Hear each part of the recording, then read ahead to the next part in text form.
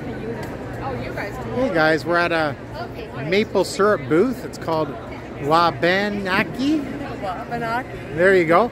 And we have our friend Jolene. Jolene. Jolene's going to tell us about Wanapi maple syrup. go ahead. So Wabanaki Maple, we're uh, based out of New Brunswick. We're an indigenous-owned uh, maple syrup company with a signature line of some really fine, premium uh, barrel-aged maple syrup products. We have bourbon, whiskey, rum, and oak-flavored syrups. And we also have some confectionery, maple sugar. So yeah, this is the first time at our exhibit, and if you want to find more out of more, excuse me, find out more about us, you can look check us out at uh, wabanakimaple.com and yeah, check out our, our products. So the product, how long has it been around for? Uh, we're going into our fifth year this this November. Excellent. So it's a premium maple syrup because it's it's very unique. It's being it's being aged in different barrels. That's correct. Which is really cool.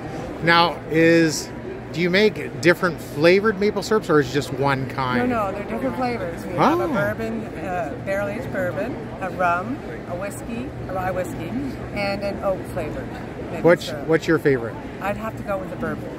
ah, so we got a bourbon drinker. Pairs perfectly every morning, you know, with your coffee or, or tea, you know, whatever your preference is. But, now, uh, so you sell it in the liquid form. But it looks like you also sell it in packets as well. Yeah, so we, we actually, uh, we've been giving out some samples. So we do have a, a small mini bundle package.